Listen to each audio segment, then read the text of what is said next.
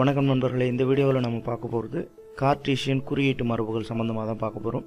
ஆடி lens சம்மந்தமான கணக்கீடுகளில் எங்கே மைனஸ் போடுறது எங்கே ப்ளஸ் போடுறது அப்படிங்கிறதுல ஒரு சின்ன ஒரு சிரமம் இருந்துக்கிட்டு தான் இருக்கும் எப்போவுமே.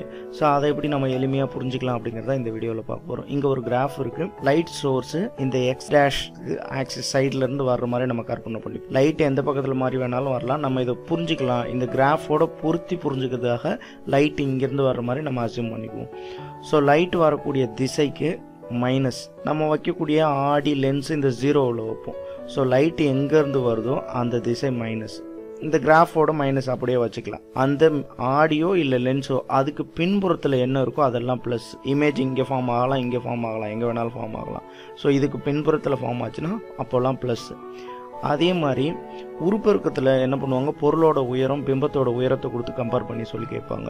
ஸோ அந்த மாதிரியான சமயத்தில் இந்த எக்ஸ் ஆக்சிஸ்க்கு மேலே உள்ளது அதெல்லாம் ப்ளஸ்ஸு கீழே உள்ளது அதெல்லாம் மைனஸு இந்த பேசிக் ஐடியா நமக்கு ஞாபகம் இருந்ததுன்னா போதும் ஈஸியாக பண்ணிக்கலாம். ஒளியோட மூலம் எப்போவுமே இந்த எக்ஸ்டாக்ஷன்லேருந்து தான் வரும் கிடையாது. எப்படி எந்த திசையிலேருந்து வரலாம்? நாம் ஒரு புரிதலுக்காக எப்போவுமே இந்த கிராஃபோட மேட்ச் பண்ணி படித்தோன்னா ஈஸியாக இருக்குங்கிறதுனால ஒளியோட மூலம் எந்த பக்கத்துலேருந்து வந்தாலும் நாம் இந்த பக்கத்துலேருந்து வர்ற மாதிரி அதை புரிஞ்சுக்கணும் அப்படிங்கிறது தான். ஓகே ஸோ இப்போ இந்த கிராஃபில் பார்த்தீங்கன்னா அந்த கிராஃபோட மையத்தில் குழியாடி குவியாடி குவி லென்ஸு குழி லென்ஸு நாலாக பிரித்து வச்சுருக்கோம். குழி ஆடியில் எப்படி இமேஜ் ஃபார்ம் ஆகுது அப்படிங்கிறத பார்த்துக்கிட்டாலே நமக்கு இந்த யூவிஎஃப் இதெல்லாம் மனப்பாடம் பண்ண தேவை கிடையாது. குழியாடியை பொறுத்த வரைக்கும் அங்கேருந்து இணைக்கற்றை வரும். வந்து கண்ணாடியில் விழுந்ததுக்கப்புறம் முக்கிய குவியத்தின் வழியாக போகும். பிரதிபலிப்புக்கு பிறகு முக்கிய குவியத்தின் வழியாக போகும். இந்த ரெண்டு கதிரும் வெட்டிக்கிற இந்த புள்ளியில தான் பிம்பம் அமையும். இந்த இடம் தான் அதனுடைய குவிய தொலைவு. ஸோ நமக்கு தெரியும் கண்ணாடிக்கு பின்னாடி இருந்தால் தான் அது பாசிட்டிவ் சிம்பிளை யூஸ் பண்ணுவோம் குழியாடியை பொறுத்த வரைக்கும் எதுவுமே கண்ணாடிக்கு பின்னாடி போகிறது கிடையாது. அங்கேருந்து வர்றது ஒளி மூலமும் கண்ணாடிக்கு முன்னாடி தான். பிரதிபலிப்புக்கு பிறகு பிம்பம் ஃபார்ம் ஆகிறதும் கண்ணாடிக்கு முன்னாடி தான். ஸோ யூ மைனஸ் எஃப்பும் மைனஸ் வி மைனஸ் குழியாடியை பொறுத்த வரைக்கும் எல்லாமே மைனஸ் தான். இந்த யூங்கிறது காமன் எல்லாத்துக்குமே மைனஸ் தான். லென்ஸாக இருந்தாலும் மிரராக இருந்தாலும் ஒளி மூலம் இருக்கிற பக்கத்தில் தான் வச்சிருக்க போகிறோம் ஸோ அதனால அது மைனஸ் தான். இந்த எஃப் விக்கு தான் இங்கே பிரச்சனை. ஸோ இந்த படத்தை நம்ம ஞாபகம் வச்சுக்கிட்டோம் அப்படின்னா இதை மனப்பாடம் பண்ண தேவை கிடையாது இந்த ஹெச் டேஷ் அப்படிங்கிறது பார்த்தீங்கன்னா மைனஸ் ஹெச் டேஷ் அப்படிங்கிறது பிம்பத்தினுடைய உயரம். ஸோ பிம்பம் பார்த்தீங்கன்னா கீழ் நோக்கி இருக்கும். ஏன்னா குழியாடியை பொறுத்த வரைக்கும் ஒரு கண்டிஷனை தவிர எல்லா கண்டிஷன்லையும் கிடைக்கக்கூடிய பிம்பம் எல்லாமே தலைகீழ் பிம்பமாக தான் இருக்கும். ஸோ தலைகீழ் அப்படின்னா எக்ஸ் அச்சுக்கு கீழே. ஸோ ஹெச் டேஷ் அப்படிங்கிறது பிம்பத்தினுடைய உயரம் மைனஸில் தான் இருக்கும் நெகட்டிவில் தான் இருக்கும். ஸோ நம்ம இந்த ஹெச் டேஷை கூட ரொம்ப காம்ப்ளிகேட் பண்ணிக்க தேவையில்ல. மேலே உள்ளதை புரிஞ்சுக்கிட்டாலே போதும். ஹெச் டேஷ் இருக்கட்டும். ஹெச்ங்கிறது பொருளுடைய உயரம். ஹெச் டேஷுங்கிறது பிம்பத்தினுடைய உயரம். ஹெச்ங்கிறது எப்பயும் மாற போகிறது இல்லை நேராக தான் இருக்க போகுது. அதனால அது எப்போவுமே பாசிட்டிவ் ஹெச் டேஷ் மட்டும்தான் தலைகீழ் பிம்பமாக இருக்குல்ல நெகட்டிவாக இருக்கும். நேரான பிம்பமாக இருக்குல்ல பாசிட்டிவாக இருக்கும். ஸோ இந்த கேஸை பொறுத்த வரைக்கும் ஒரு ஸ்பெஷல் கேஸ் இருக்குது அதை நம்ம பின்னாடி பார்க்கலாம். அதை தவிர்த்து மற்ற எல்லா டைம்லையும் நெகட்டிவ் தான். தலைகீழ் பிம்பமாக தான் கிடைக்கும். ஓகே குவியாடியை பொறுத்த வரைக்கும் அங்கேருந்து இணைக்கற்றை வந்து விழும். விழுந்ததுக்கப்புறம் பிரதிபலிப்புக்கு பிறகு விலகி வெளியேறும்.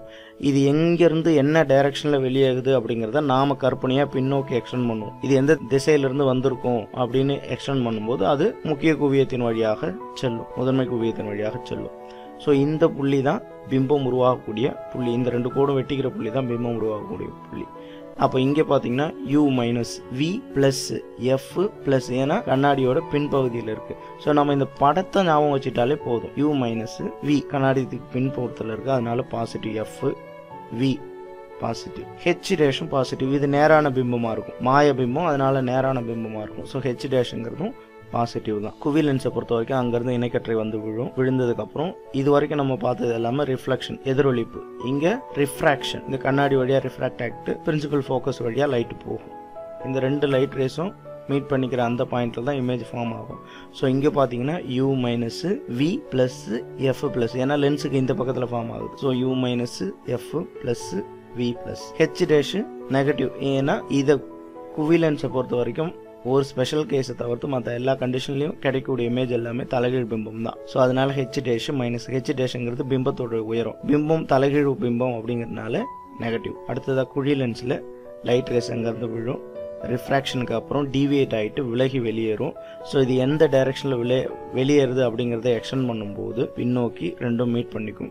அந்த புள்ளியில தான் பிம்பம் உருவாகும். ஸோ அதை தான் நம்ம பிரின்சிபல் ஃபோக்கஸ் அப்படின்னு சொல்கிறோம் இந்த தொலைவு தான் ஃபோக்கல் லென்த் அப்படின்னு சொல்கிறோம் so u minus f minus v minus ஏன்னா எல்லாமே லென்ஸுக்கு இந்த பக்கத்துலேயே ஒளி வரக்கூடிய அந்த திசையிலே கிடைச்சிடுது. ஹெச் டேஷும் ப்ளஸ் ஏன்னா இது நேரான பிம்பம். மாய பிம்பம். எப்போல்லாம் இந்த கோட்டை நாமளாக கற்பனையாக பின்னாடி எக்ஸ்டெண்ட் பண்ணி கண்டுபிடிக்கிறோமோ அதெல்லாம் மாய பிம்பம் அதெல்லாம் நேரான பிம்பமாக தான் இருக்கும். ஸோ இதுவும் மாய பிம்பம் நேரான பிம்பம் இதுவும் மாய பிம்பம் நேரான பிம்பம். ஸோ ஹெச் டேஷ் ப்ளஸ் தான். நமக்கு ஞாபகம் இருக்க வேண்டியது இந்த படம் மட்டும்தான். ஒரு குழியாடியில் எப்படி பிம்பம் உருவாகுது குவியாடியில் எப்படி உருவாகுது அப்படின்னு தெரிஞ்சுக்கிட்டாலே நம்ம யூ மைனஸ் வி மைனஸா ப்ளஸ்ஸா அப்படிங்கிறதெல்லாம் தெரிஞ்சுக்கலாம். ஸோ இந்த நாலு படத்தை மட்டும் நமக்கு கற்பனையாக ஒரு குழியாடி அப்படின்னாலே இதில் இப்படி தான் இமேஜ் ஃபார்ம் ஆகுது. குவியாடியில் இப்படி தான் இமேஜ் ஃபார்ம் ஆகுது அப்படிங்கிறது குழி லென்ஸு குவி லென்ஸு ஒரு ஐடியா இருந்துச்சுன்னா நம்ம யூவிலாம் நாமளாகவே போட்டுக்கலாம். இது மனப்பாடம் பண்ண தேவை கிடையாது ஓகே இதில் நான் ஒரு ஸ்பெஷல் கேஸ் அப்படின்னு சொன்னால் அது என்னன்னு சொல்லி பார்க்கலாம். ஸோ குழியாடி இருக்குது இதில் நீங்கள் இந்த எஃப்க்கு வெளியில்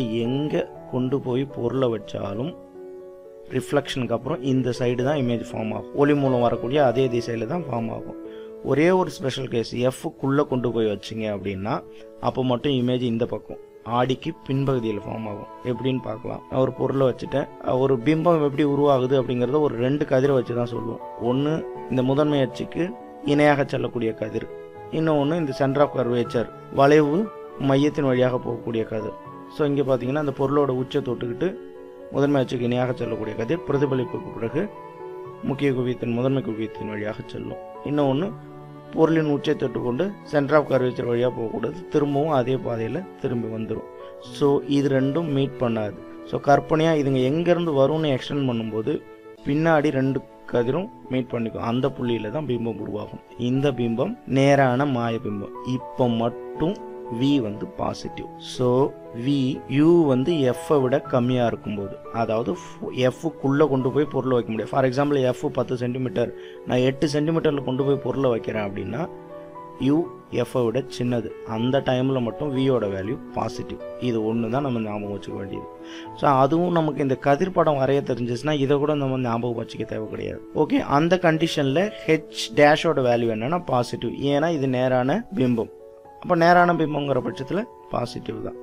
ஸோ இந்த ஸ்பெஷல் கேஸை மட்டும் ஞாபகம் வச்சுக்கணும் அதே மாதிரி குவி லென்ஸை பொறுத்த வரைக்கும் எஃப்க்குள்ளே கொண்டு போய் பொருளை வச்சிடுறேன். அதே மாதிரி முதன்மை அச்சுக்கு இணையாக பொருளின் உச்சை தொட்டு கொண்டு வரக்கூடிய கதிர் ரிஃப்ராக்ஷனுக்கு அப்புறம் பிரின்சிபல் ஃபோக்கஸ் வழியாக போகும். இன்னொரு கதிர் போகும்போது அந்த லென்ஸினுடைய மையத்தின் வழியாக போகக்கூடியது. பொருளின் உச்சை தொட்டு கொண்டு இந்த ரெண்டு கதிரும் பார்த்தீங்கன்னா வெட்டிக்காது. ஸோ எங்கே அப்படின்னு பின்னோக்கி எக்ஸ்டெண்ட் பண்ணும்போது இங்கே மீட் பண்ணிக்கும். அங்கே தான் பிம்பம் உருவாகும். ஸோ இந்த கேஸில் பார்த்தோம்னா யூ மைனஸு வியும் மைனஸ் ஸோ யூ எஃப்பை விட கம்மியாக இருக்கும்போது வியோட வேல்யூ மைனஸ் அதே மாதிரி தான் ஹெச் டேஷுக்கு யூ எஃப்பை விட கம்மியாக இருக்கக்கூட ஹெச் டேஷு ப்ளஸ் ஏன்னா இது நேரான பிம்பம். ஸோ இவ்வளோ தான் இந்த ஒரு ஸ்பெஷல் கேஸை மட்டும் தெரிஞ்சுக்கிட்டா நமக்கு போதும். மற்றபடி இல்லைன்னா நீங்கள் அதுக்கு ஒரு பெரிய டேபிள் காலம் போட்டு குழி ஆடி குவி ஆடி குவி லென்ஸு குழி லென்ஸுன்னு ஞாபகப்படுத்திட்டு உட்காந்துருக்கணும் ஓகே ஒரு உதாரணத்தோட பார்த்தோம்னா நமக்கு ஈஸியாக இருக்கும். பத்து சென்டிமீட்டர் குவிய தூரம் உள்ள குவி லென்ஸ் ஃபஸ்ட்டு லென்ஸு இல்லை ஆடி குவி லென்ஸாக குழி ஆடியா அப்படின்னு நம்ம கற்பனைக்கு வந்தவுடனே அது இமேஜ் எப்படி ஃபார்ம் ஆகுதுங்கிற படத்தை நம்ம கற்பனைக்கு கொண்டு வந்து நிறுத்திக்கணும். இந்த படம் நம்ம கண் முன்னாடி வந்துடணும். இங்கே இருக்கிற இதெல்லாம் கூட நமக்கு தேவை கிடையாது. இந்த படம் நம்ம கற்பனைக்கு வந்துட்டாலே குவி லென்ஸா இப்படி தான் இமேஜ் ஃபார்ம் ஆகுது u minus v plus f ப்ளஸ்ஸுங்கிறத நம்ம அழகாக இந்த படத்தை வச்சு சொல்லிடலாம். ஸோ இதெல்லாம் மனப்பாடம் பண்ண தேவையில்லை. ஓகே ஸோ இவங்க ஒரு ரெண்டு கேஸ் சொல்லியிருக்காங்க. ஃபோக்கல் லென்த்து பத்து சென்டிமீட்டர் சொல்லிட்டாங்க. யூ பதினஞ்சு சென்டிமீட்டர் யூ எட்டு சென்டிமீட்டர் ரெண்டு கேஸ் கொடுத்துருக்காங்க. அதுக்கப்புறம் நேச்சர் ஆஃப் த இமேஜ் என்ன மாதிரி என்ன கண்டிஷன் இருக்கும் அப்படிங்கிற மாதிரி. உறுப்பு இருக்கும் என்ன அப்படிலாம் கேட்குறாங்க. ஸோ நம்ம ஃபஸ்ட்டு கார்டிஷியன் சைன் கன்வென்ஷன் நமக்கு தெரியணும். ஸோ அந்த வகையில் இது வந்து ரிஃப்ராக்ஷன் சம்மந்தமானது ஸோ லைட்டு வந்துட்டு இந்த பக்கம் தான் இமேஜ் ஃபார்ம் ஆகும் ஸோ ஃபோக்கல்லேருந்து அந்த பக்கம் தான் இருக்கும். ஸோ எப்போ எஃப் பாசிட்டிவ் யூ எப்போவுமே நெகட்டிவ் ஏன்னா ஒளி மூலம் எந்த பக்கம் இருக்குமோ அந்த பக்கம் தான் இருக்கும். வி கண்டிப்பாக பாசிட்டிவாக தான் இருக்கும். ஏன்னா இந்த பக்கம் தான் இமேஜ் ஃபார்ம் ஆக போகுது. அது என்ன வேல்யூவாக வேணால் இருக்கலாம். நம்ம கால்குலேஷன் போட்டு கண்டுபிடிப்போம். அதே மாதிரி எஃப் பத்து சென்டிமீட்டர் சொல்லிட்டாங்க. யூ எட்டு சென்டிமீட்டர்னு சொல்லியிருக்காங்க. இந்த எட்டை நம்ம யோசிக்கணும். ஃபோக்கல் லென்த்தை விட கம்மியாக இருக்குது அப்போ பொருளை கொண்டு போய் எஃப்க்கு முன்னாடி வச்சுருக்காங்கன்னு அர்த்தம். இந்த கேஸில் நமக்கு தெரியும் இமேஜ் இதே பக்கம் ஃபார்ம் ஆகும். ஸோ அப்போ வி கண்டிப்பாக மைனஸாக தான் இருக்கும். ஸோ இந்த மாதிரியான அடிப்படை நமக்கு தெரிஞ்சிச்சுன்னா ஈஸியாக இருக்கும். இந்த ரே டயக்ராம் கதிர் படம் எப்படி வரைகிறது அப்படிங்கிறது அந்த விஷயம் நமக்கு தெரிஞ்சிட்டாலே இதெல்லாம் ரொம்ப ஈஸியாக இருக்கும். ஸோ அதுக்கு ஒரு நாலு வீடியோவில் நம்ம ஏற்கனவே சொல்லியிருக்கோம். குழி லென்ஸுக்கு குவி லென்ஸுக்கு அதே மாதிரி குழி அடி குவி அடிக்கு கதிர் எப்படி வரைகிறது பொருள் எங்கே இருந்தால் பிம்பம் எப்படி இருக்கும்? அதுக்கு எப்படி வரையணும் அப்படின்னு மனப்பாடம் பண்ணாமல் அந்த பட படத்தை மனப்பாடம் பண்ணாமல் ஈஸியாக எப்படி தெரிஞ்சுக்கலாம் அப்படிங்கிறத சொல்லியிருக்கோம்.